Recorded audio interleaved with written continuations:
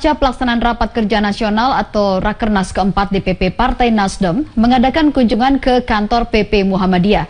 Kunjungan dilakukan sebagai bentuk silaturahmi untuk membangun kebersamaan dan juga perbaikan bangsa. Sebagai partai politik yang baru berusia enam tahun, Partai Nasdem menyadari pentingnya membangun kebersamaan dengan komponen bangsa lainnya dalam upaya perbaikan bangsa. Pasca terlaksananya Rapat Kerja Nasional atau Rakernas keempat Partai Nasdem pada November lalu, Dewan Pimpinan Pusat Partai Nasdem mengunjungi kantor pimpinan Pusat Muhammadiyah. Kunjungan dilakukan sebagai bentuk silaturahmi sekaligus untuk berdiskusi terkait isu-isu yang berkembang belakangan ini. Nasdem melihat Muhammadiyah sebagai salah satu organisasi masyarakat keagamaan terbesar dan tertua di Indonesia yang telah berperan banyak bagi perbaikan bangsa.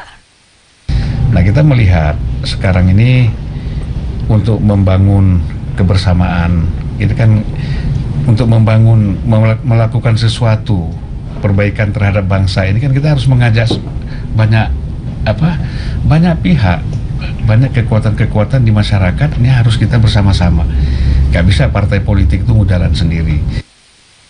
Pihak PP Muhammadiyah pun menyambut baik kunjungan Partai Nasdem.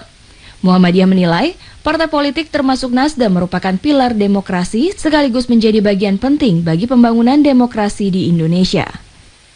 Ya buat Muhammadiyah itu parpol apa pun juga termasuk Nasdem ya dan parpol yang lain itu hadir di negeri ini yang sudah menganut model negara modern yang berbasis pada demokrasi bukan demokrasi liberal tapi demokrasi yang berada di atas pijakan nilai-nilai Pancasila dan Undang-Undang Dasar 1945 maka Muhammadiyah sejak dulu sampai sekarang ini memandang parpol ini sebagai pilar demokrasi harus diperkuat.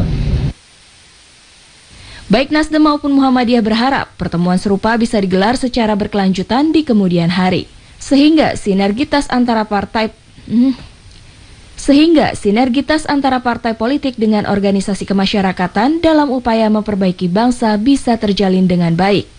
Dari Jakarta, Jen William, Ade Permana, Metro TV.